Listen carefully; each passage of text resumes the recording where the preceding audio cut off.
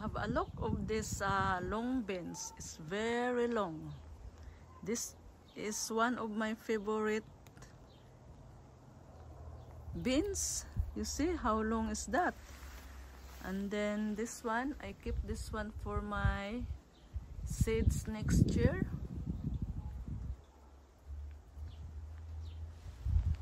So maybe I will harvest some of this. Oh this one is very long too. You see how long?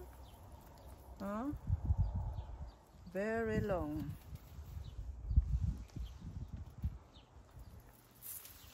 I really like these beans I always uh, grow this one every year because uh, it's different taste.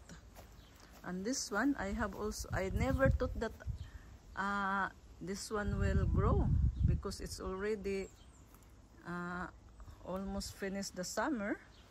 And I have so many uh, fruits you see that one? And there are some small one.